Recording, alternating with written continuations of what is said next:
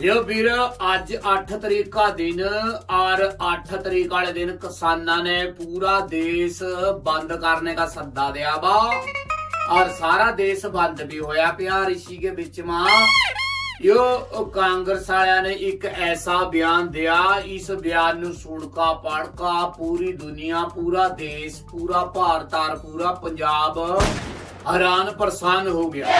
ਕਿਉਂਕਿ ਵੀਰ यो कांग्रेस की यो बीबी सोनिया गांधी राहुल गांधी की बीबी इसने एक बड़ा ऐलान कर दिया कहे मैं किसाना के समर्थन के बीच में एक बहुत बड़ी कुर्बानी दे आज वीर इस बात की जानकारी यो जेड़ा कांग्रेस हरियाणा ना ना उठा राजस्थान कांग्रेस का जेड़ा यो प्रधान गोविंद सिंह डॉट सरा इसने दई और कह रहा ਬਈ ਬੀਬੀ ਸੋਨੀਆ ਗਾਂਧੀ ਕੁਰਬਾਨੀ ਦਵੇਗੀ ਔਰ ਕੁਰਬਾਨੀ ਹੋਵੇਗੀ। ਬਈ ਈਬ, ਇਸ ਸਾਲ ਬੀਬੀ ਸੋਨੀਆ ਗਾਂਧੀ ਆਪਣਾ ਜਨਮ ਦਿਨ ਨਹੀਂ ਮਨਾਉਂਦੀ। ਇਹ ਕਾਂਗਰਸ ਵਾਲਿਆਂ ਦਾ ਵੀਰੇ ਸਰ ਮੇਲਾ ਕੇ ਰੱਖਦੀ, ਦੱਸ। ਕੁਰਬਾਨੀ ਦੱਸ ਰਹੇ ਹੋ ਜਨਮ ਦਿਨ ਨਾ ਮਨਾਣੇ ਨੂੰ।